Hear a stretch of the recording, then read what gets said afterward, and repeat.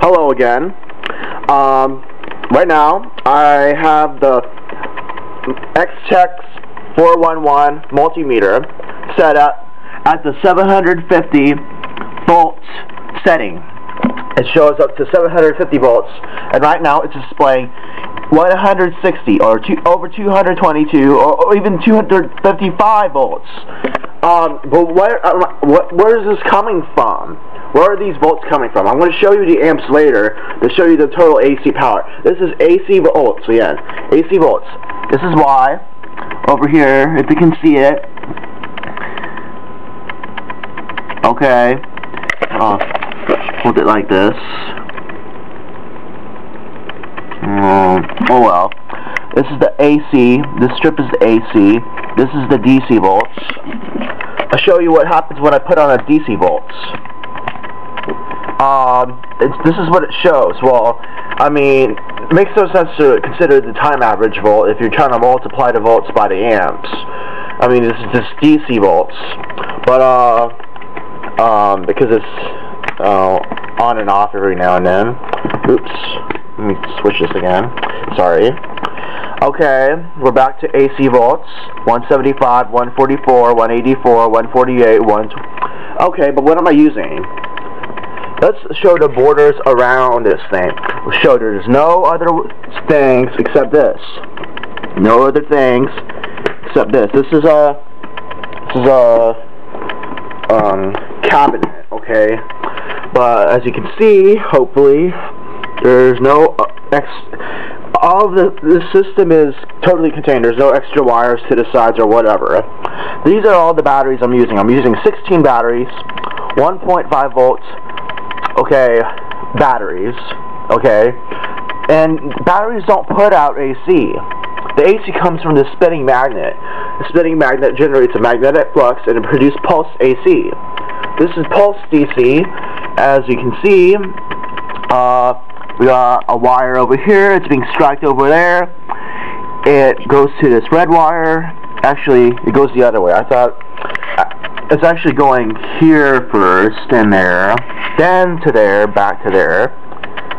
And the way I measure the voltage is connect this thing over here, this thing over here. And that's how I get these, um, huh. So, why did the Huh, let's see.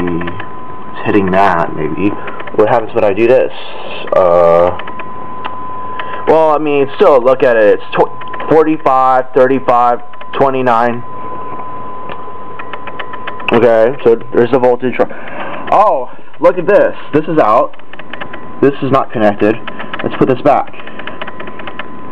Aha! So we're back to 169, 177, 180. See?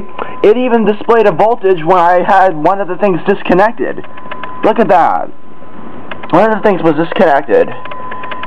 And even if I take this out, it still measures a voltage. How about that? And the voltage, okay.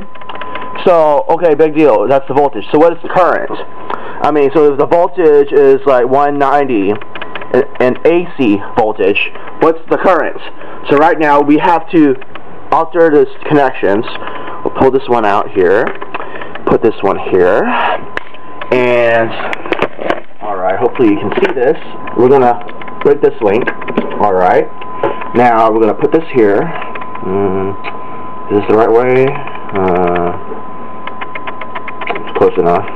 It, will it might show a minus sign, but ignore it. Alright. Not really good with these colors because I'm not sure which one goes which.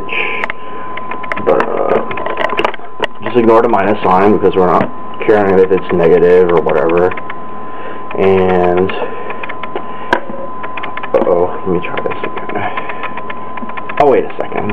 We'll have to turn this, and we'll connect this, and we'll put this around. Alright. So we measured it AC voltages and the DC voltages. Now, um, we have to spin this thing going. Alright, the AC amps. The AC amps right now are 1 point, or 0.6, 0.7, 0.8, 0.7, 0.9, 1.4, 0.8, 0.9, 0.7, 1.3, 1.3, 1.1, 1.2. But, I mean, this is AC amps. And you multiply it by the AC voltage, and this is a true RMS multimeter, so these numbers are not a joke. This is measuring the true RMS. It better because this is from Extech Instruments, and I better trust them.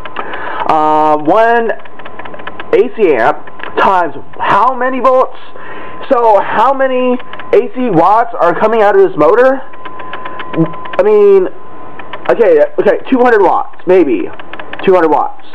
Because you take 1 point something or 8 point something times 250 or whatever, or something. Well, okay, maybe this is a somewhere between 100 times and 200 times 1 watt, okay. We'll see how many watts we're using from the batteries, the DC. The DC. The DC. Okay, this is okay. This is a 20 amp setting, so it shows up to 20 amps. This is a 20 amp port. This this one broke because I broke the fuse. For some reason, the back specs were too high for this thing. All right, but here is the AC amps. Let's go to the DC amps. So all we have to do basically, I can just turn this dial past the milliamp thing, then here. Okay, this is the DC amps. This is the 20 amp setting of the DC amps. 20 amp setting of the DC amps. Hopefully you can see it. Aha, there you go, it's focused. Now, might as well focus these things too to see what these were. There you go, you can see the sine wave is for the AC voltage. And those two lines, can barely see, it's for the, this is the um, DC volts measure, okay?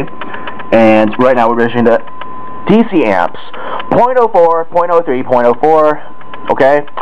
Um, so 30 milliamps, 40, 20 milliamps, 30, 10, 30, 10, whatever, right? So, okay, comparing this to threshold, okay, 1 amp of AC amps, um, compare this to less than 1 20th of that, okay? And the voltages, uh, the AC voltages were over 200 some of the times. So, what happens if we measure the DC voltage of these batteries? It ought to be less than 24. I mean, you would think that the voltage of one battery, AA battery, would not be greater than, um, let's say, 160 divided into 16 batteries or 10 volts per battery. You wouldn't expect that. You wouldn't expect those kind of AC voltages coming from these batteries. You would expect something else. So let's see what we have right now. Earlier it was 20 volts, and let's see what it is now. It's probably 20 volts again. I'm willing to bet on it. Now, for the DC voltage, I don't need to really set it up the way I did it earlier. I can just do it as fine, do it this way. And 20 volts, alright. Um, I could have just easily just put this, my, my, uh, thing, uh, over here, and Yep, sure enough, it says 20 volts. So, alright. So, we're using 20 volts, I mean, of DC times a 20th of an amp of DC. So, we're using about 1 watt of DC. And we're getting over 200 volts of AC sometimes. And we're getting about 1 amp of AC.